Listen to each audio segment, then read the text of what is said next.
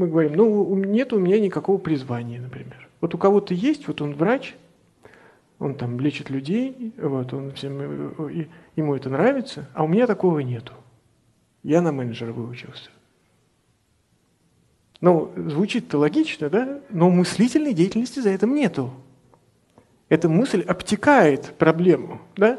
Потому что человек, который там э, э, довольный врач, не факт, что довольный, да, вот. Но с другой стороны, сколько ему нужно было сделать для того, чтобы быть таким ценным для своих пациентов, чтобы они вокруг него бегали и говорили, нам нужны только вы, и, пожалуйста, вот вы оперируете, а всех остальных мы не пустим. Это явно он потратил не 10 тысяч часов, 20 тысяч часов на это.